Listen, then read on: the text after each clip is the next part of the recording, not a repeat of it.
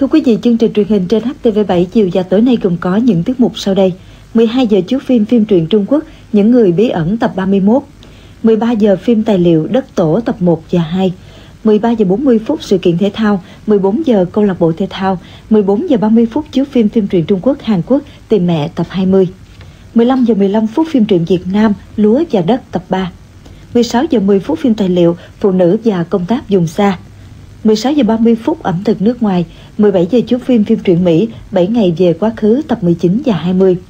18 giờ bản tin kinh tế, 18 giờ 15 phút chiếu phim phần tiếp theo, 19 giờ văn nghệ thiếu nhi, vườn âm nhạc, 19 giờ 30 phút phim hoạt hình Những cô gái siêu nhân, 19 giờ 50 phút tin thế giới, 20 giờ hội ngộ bất ngờ, 21 giờ chinh phục đỉnh Everest, 21 giờ 10 phút ký sự quyền bí sông Hằng, 21 giờ 20 phút nốt nhạc vui, 22 giờ 15 phút tin trong nước.